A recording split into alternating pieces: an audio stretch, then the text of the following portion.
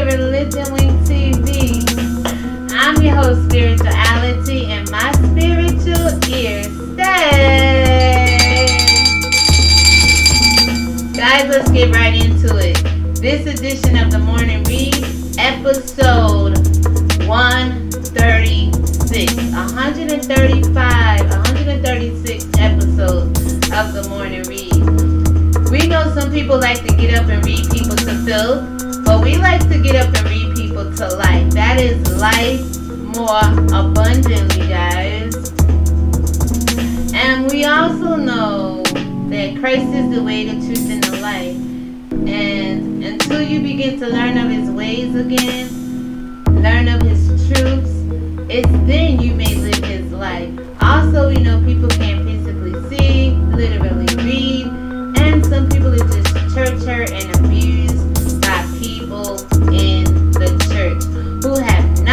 quite yet surrendered their whole heart to the Most High God. If so, they wouldn't be abusing people, you know, the way they are, right? So, let's get right into it.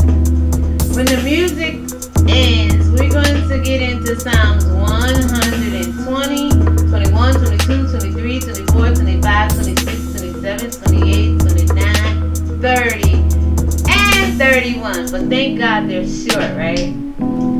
You're watching ReligionWinked TV. I'm your host, Spirituality, and my spiritual ears say,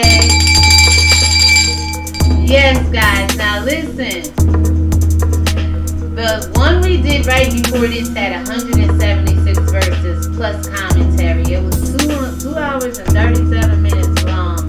Hopefully, we could get these. Oh, they're very short, guys. Under a half hour, know it's nice out and everybody wants to go to the beach, the sprinklers, the lake, the pond, the pool the cesspool. Some of y'all want to go there because that's where your spirit is. It's in the dark things, the dark places, the nasty places of the world. You're watching ReligionWinked TV. I'm your host, Spirituality, and my spiritual ears stay. Alright, so let me take off of this over the shoulder bag. I got my water. Um, it's a little bit of coffee there, but it, I probably would need to reheat it at this point, guys. Let's just go ahead and get into it, okay? Can you see me here? Can you see me good? Can you see the backdrop behind me? Alright, so Psalms 120. In my distress I cried unto the Lord, and he heard me. 2. Deliver my soul, O Lord, from lying lips and from a deceitful tongue. There's lying lips and deceitful tongues out here deceiving and hurting and speaking ill manner against God's people. 3. What shall be given unto thee, or what shall be done unto thee, thou false tongue? Satan, because he is the father of lies. That's what's going to be given unto you. Satan is going to be your father in these last days, if he's not already. 4. Sharp arrows of the mighty with coals of juniper. 5. Woe is me that I sojourn in Mesech, Meshech, Mesech, that I dwell in the tents of Kedar. 6. My soul hath long dwelt with him that hateth peace. And we don't want our soul to dwell any longer without the peace that passes all, all understanding. Who is God, you all? You understand? 7. I am for peace, but when I speak, they are for war. See, I'm for peace, but when it's when I speak, it seems like I'm out here warring, being racist, being hateful, spewing hate. It's coming right from this Bible. It's just a different interpretation of the Spirit that's bringing it forth unto you.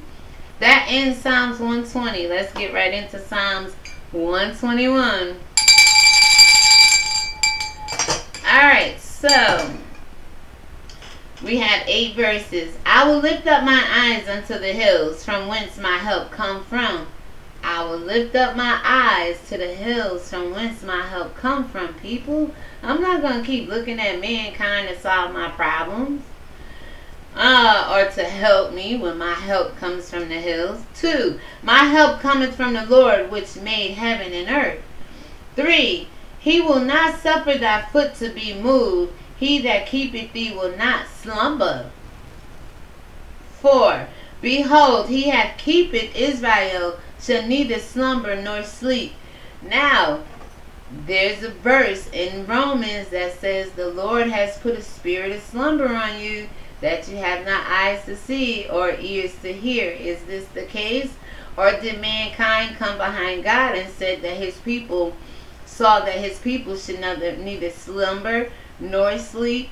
And then they put us into slavery, comatose and everybody, trying to knock us out in the spirit.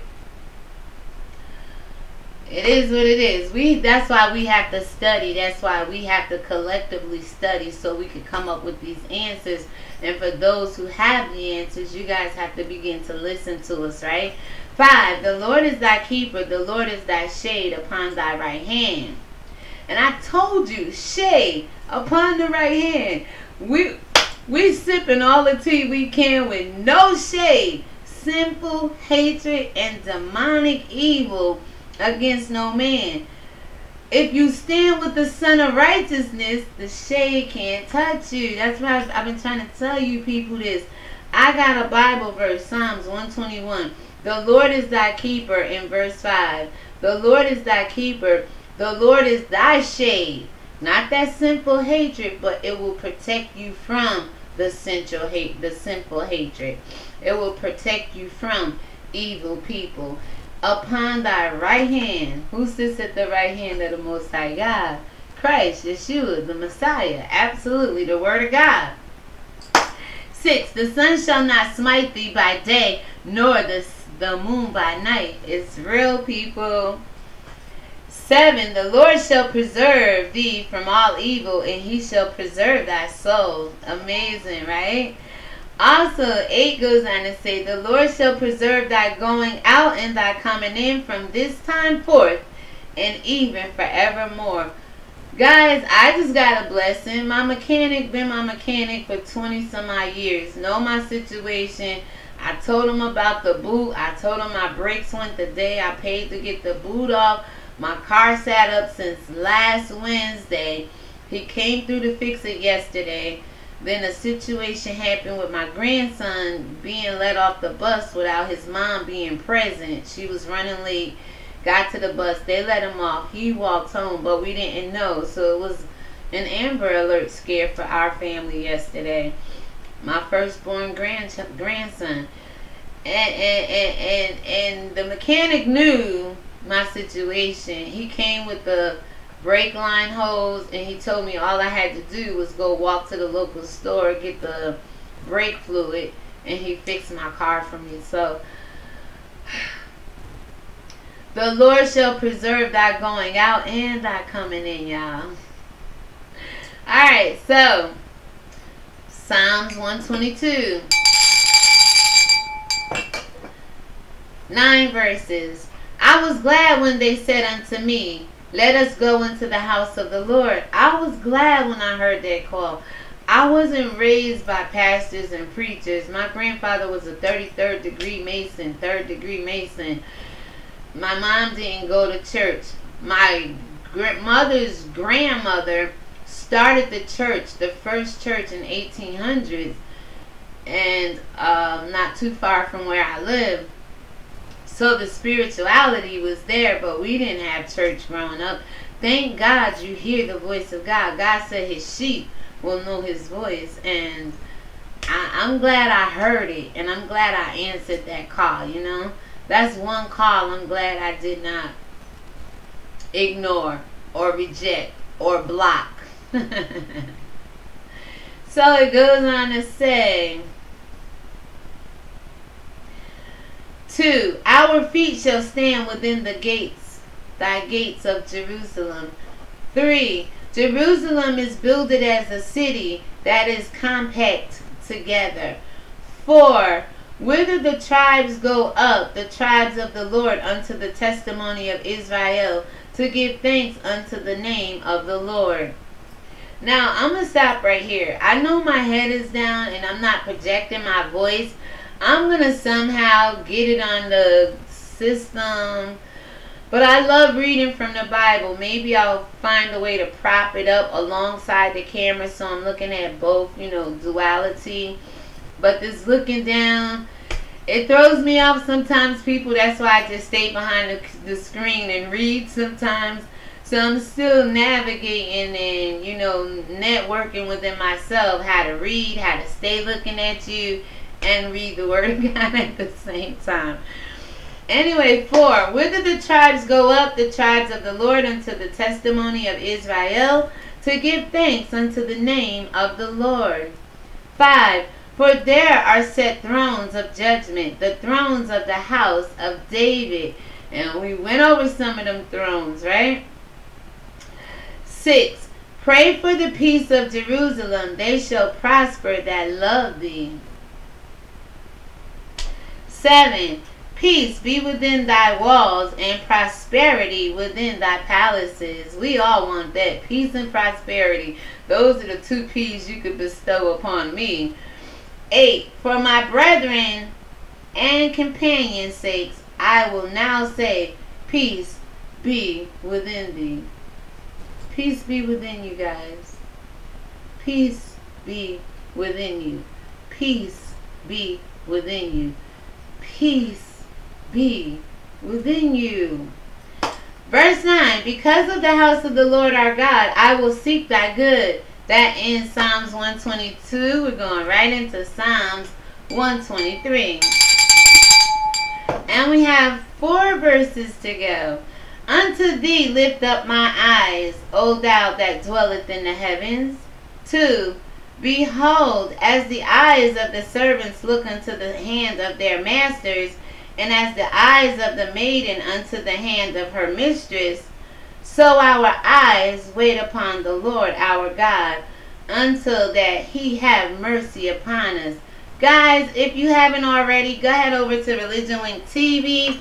Give me your subscription today. It's free. It does not cost a thing. And while you're at it, you can also go over to teespring.com, pick you up some merch. Um, it's plain, it's simple. But over here on this channel, we call ourselves Winksters because we are lace. That's L-A-Y-S-E. Looking at you side-eye is the acronym for looking at you side-eye. We lace, alright? So with that being said, guys, I hope and pray that you guys can go over and get you a coffee mug. They come in black, the lemon color, gold. They come in white. The t-shirts and the hoodies, I believe, come in white and black. But nonetheless, we appreciate your support no matter how you give it to us. Thank you. So, uh, let's go on. Verse, let's start 123 over again. Unto thee lift up mine eyes, O thou that dwellest in the heavens. 2. Behold, as the eyes of the servants look unto the hands of their masters, and as the eyes of the maiden unto the hands of her mistress, so our eyes wait upon thee, Lord, our God, until that he have mercy upon us. 3. Have mercy upon us, O Lord, have mercy upon us, for we are exceedingly filled with contempt of the proud contempt of the proud. See, we talked about the proud earlier, guys. I do apologize. I'm letting some of this breeze come in. I don't have the air on. Mm -mm, trying to keep my light bill down. For our soul is exceedingly filled with the scorning of those that are at ease, and with the contempt of the proud. Something with the contentment of the proud verse chapter 124. Alright guys, here we go. If it had not been for the Lord who was on our side, now may Israel say, 2. If it had not been for the Lord who was on our side when men rose up against us. 3. Then they had swallowed us up quick when their wrath was kindled against us. 4. then the waters had overwhelmed us, the stream had gone over our soul. 5. Then the proud waters had gone over our soul. 6. Blessed be the Lord who hath not given us as prey to their teeth, so they can eat us up, so they can devour us, right? 7. Our soul is escaped as a bird out of the snare of the fowlers. The snare is broken, and we are escaped, people. I said we are escaped, people. In the last verse of 124, our help, verse 8, our help is in thy name of the Lord who made heaven and earth. That's the only true help that's going to come from anywhere is from God. We're going right into 125. Alright, and it's five verses. They that trust in the Lord shall be as Mount Zion, which cannot be removed, but abideth forever. 2. As the mountains are round about Jerusalem, so the Lord is round about his people from henceforth, even forevermore. 3. For the rod of the wicked shall not rest upon the lot of the righteous, lest the righteous put forth their hands unto iniquity. See, if you put your hand to iniquity, then you share the same inheritance as the heathen, as the wicked. 4. Do good, O Lord, unto those that be good, and to them that are upright in their hearts. God knows your heart. I don't care how bad you try to be out here and be good. He knows your heart. I don't care how much giving and doing. He knows even why you do that. For some clicks and views and things like that.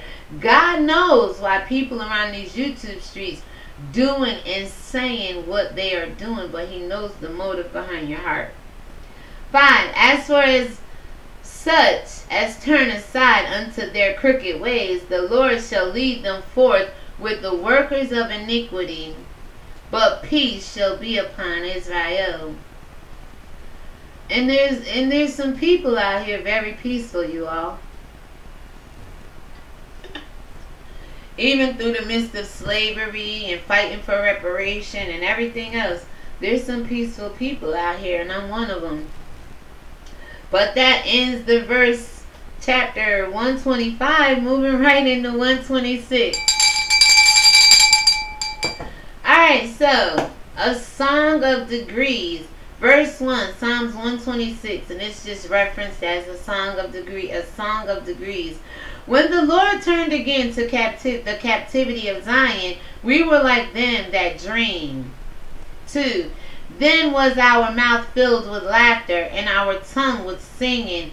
Then said they among the heathen, The Lord hath done great things for them. Mm-hmm. 3. The Lord hath done great things for us, whereof we are glad. Whereof we are glad. For Turn again our captivity, O Lord, as the streams in the south. 5. They that sow in tears shall reap in joy. Call me a crybaby if you want. If I sow tears, I'm going to reap joy. A lot of people say you weak if you cry and wonder why they have no real joy. And they want every sexual perversion, every wicked, evil thing to come along and fill them up because they're not truly happy. They're not rejoicing in the Lord. They're rejoicing in cash apps and PayPals and clicks and views and uh, popularity, fame, and fortune, but no real joy. 6. He that goeth forth and weepeth, bearing precious seed, shall doubtless come again with rejoicing, bringing his sheaves with him.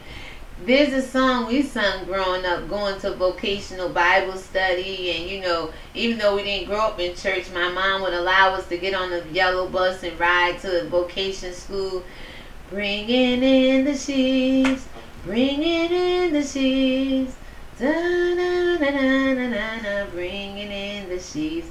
I got all my songs written down and things like that, but there's a little kids song out called Bringing in the Sheaves. And when we used to teach uh, Sunday school, these are some of the songs we used to sing with the children and stuff. My daughter and I used to be over Sundays, children's church, not Sunday school, children's church. I misspoke. But we have uh we had an itinerary. We found songs. We wrote songs. We made up songs. But um, there's a song called "Bringing in the Sheaves." So that ends Psalms 126, going right into 127. Alright, so one, except the Lord build the house, the labor they labor in vain that build it. Except the Lord keep the city, the watchman waketh but in vain. So, accept the Lord build your house, build up your temple, build up your lifestyle, build up your career, build up your wisdom, build up your your giving and your love. It's in vain. It's in vain, people. I don't care how established you look in this world. If you got there without God, it's vanity. Because apart from God, people are trying to be happy. And that's the true vain vanity that goes on in this world. Two, it is vain for you to rise up early, to sit up late, to eat the bread of sorrows, for so he giveth his beloved sheep. So he's saying, it's vain for you to rise up early and go to bed late. Three, lo, children are an inheritance of the Lord, and the fruit of the womb is his reward. The fruit of the womb, the seed, the replenishing, multiplying, and being fruitful is what God is talking about here, people. For as arrows are in the hand of a mighty man, so are children of thy youth. And what you want to do on YouTube is abuse the children. I ain't with that, y'all. We are all God's children, and I see how we have all been abused at some point. And those generational curses you guys talk about is what causes you to keep abusing people on YouTube. Five, Happy is the man that hath his quiver full of them. They shall not be ashamed, but they shall speak with the enemies in thy gates. I speak with enemies. I mean, we have to. You know who they are, but the Bible says, Be not ignorant of their devices, or the Satan and the enemies of this world will gain advantage on you. So that is Psalms 127, moving right along to 128. Alright, guys, here we go. Verse 1 Blessed is everyone that feareth the Lord, that walketh in his ways. 2 For thou shalt eat the labor of thine hands, happy shalt thou be, and it shall be well with thee. We all out here eating the fruit and the labors of our hands, right? Some good, some bad. Some sustain us, and some is killing us but you are definitely eating the fruit and the labor of your hand. You reap what you sow. Don't forget that, people. Three, thy wife shall be as a fruitful vine by the sides of thine house, thy children like olive plants round about thy table. We want this for our children, but we picking them off. Exploitation, missing, molestation, verbal abuse, not pushing them to their capacity, not teaching them the word of God, just letting them live lawless. Killing our babes. For behold that thus shall the man be blessed that feareth the Lord. Just fear God. Don't be afraid of him. But just like your parents said, you better not steal my car, XYZ. You better not. This doesn't go down in my house and you find a way to do to follow your parents for the most part we honor our mother and our fathers why can't we honor their creation their creation and the ones that created them who is god right? So it goes on to say five the lord shall bless thee out of zion and thou shalt see the good of jerusalem all the days of thy life. That's all i want to see. I'm going to see some evil i'm going to see some wicked people but in my life, goodness and mercy shall follow me all the days of my life.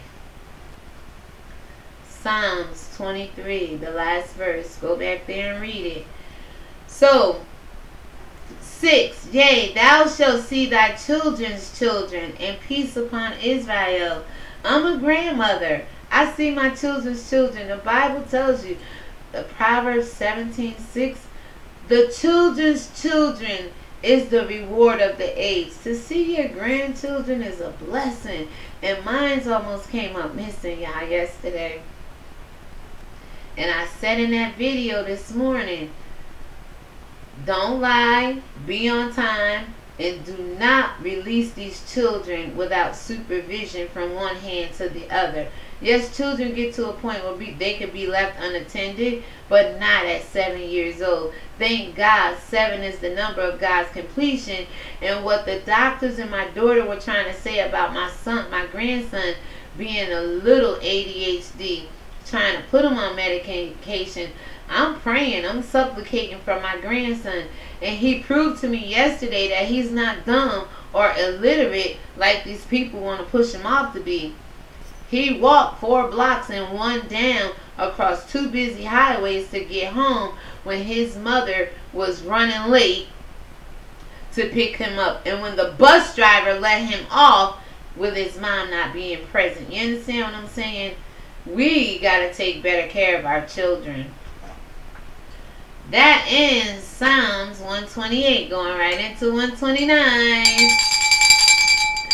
Alright, guys, check this out. Eight verses. Verse 1 Many a time have they afflicted me from my youth. May Israel now say, Many a times they afflicted us from our youth when we, when we were still babies being developed as the children of Israel, being taught how to live as the children of Israel. People persecuted us. And you're still persecuting God's children today. Two, many a time have they afflicted me from my youth, yet they have not prevailed against us. See, this affliction of being in America under the hands of the oppressor for over 430 some odd years now. It says it right here. It will not prevail against us. Three, the plowers plowed upon my back. They made long their furrows. And that's a prime example of slavery here in America. For the Lord is righteous. He hath cut asunder the cords of the wicked. Oh yeah. They gonna reap what they sow. Oh yeah, they can't escape it. Five, let them all be confounded and turn back that hate Zion. And they are. God has. We keep allowing them back in. We keep, we're, we're afraid to be his equal. We're so used to people being over us. It's almost if, if God took everybody else out the land, will we be able to rule? Will we be able to reign? I don't know because a lot of you have been taught by the oppressor to keep your own kind oppressed. So I don't know, black people. We have a lot of healing to still do in this land.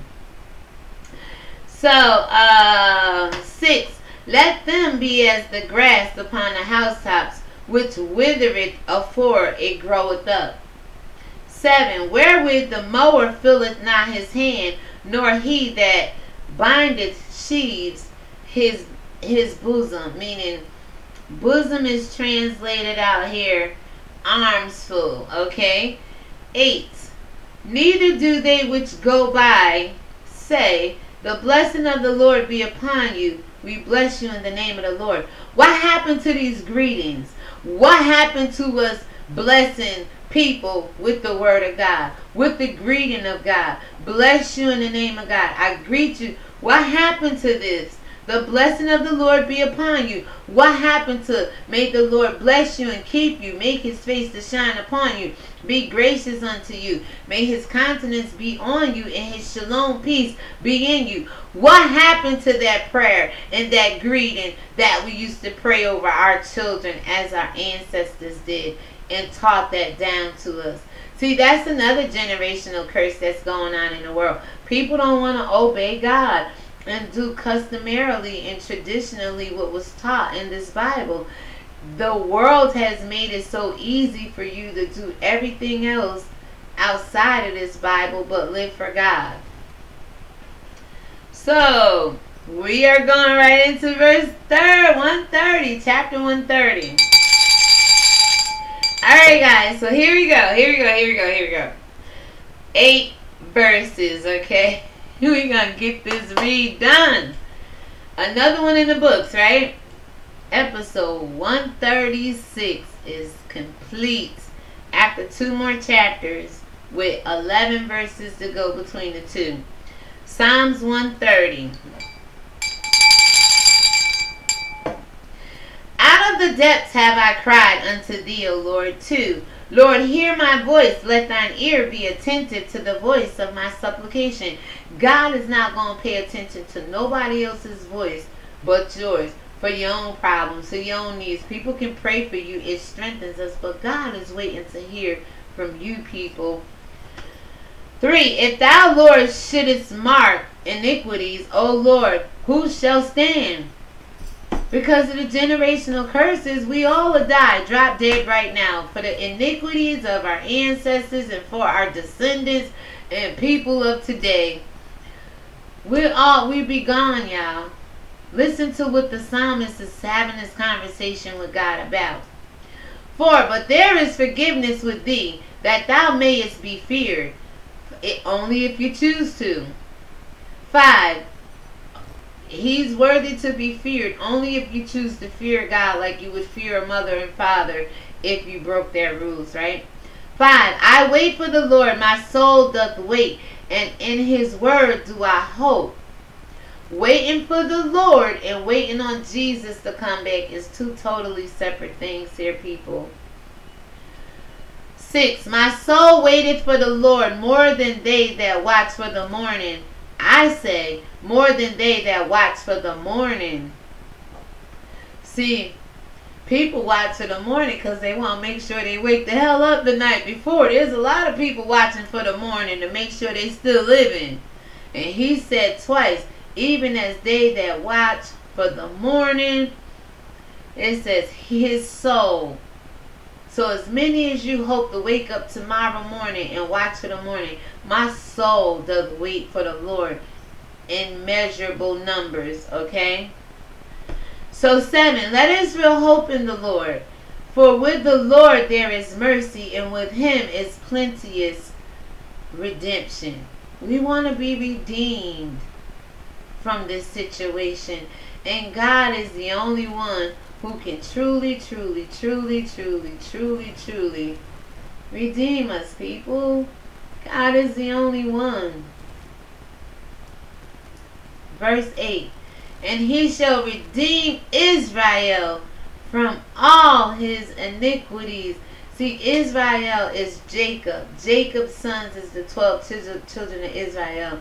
They've been living in iniquity, generational curses, and disobedience forever. Forever. That ends chapter 130, going right into Psalms 131. And it goes like this. Verse 1.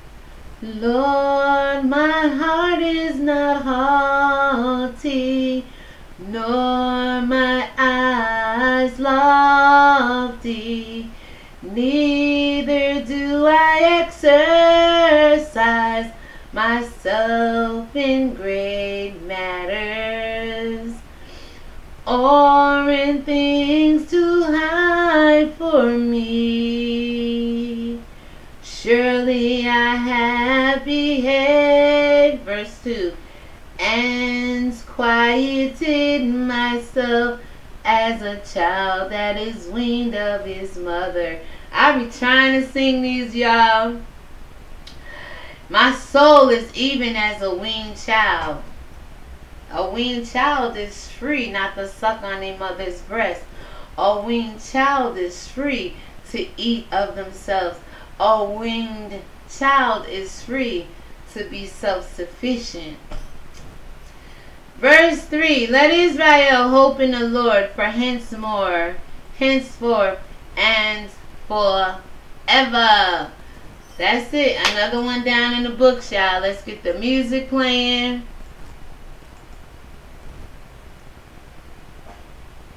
Hopefully.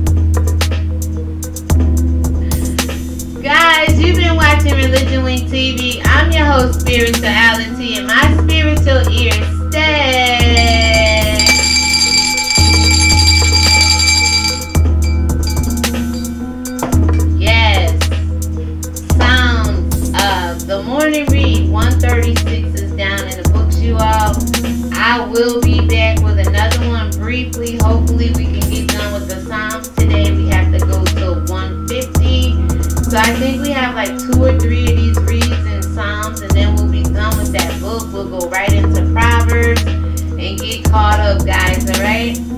Again, let the word of God be a lamp unto your feet and a light unto your pathways, right? Wherever you step, it will be bright, and wherever His Holy Spirit leads you, you begin to shine this kind of light, His light, this glowing light, this beauty for ashes light. With that being said, you all, shalom, God bless you, and have a great day. I will see you on the next upload, live, and or premiere. Thank you so much for having me, God, Yeshua, and the Holy Spirit. Take that with you today. Shalom.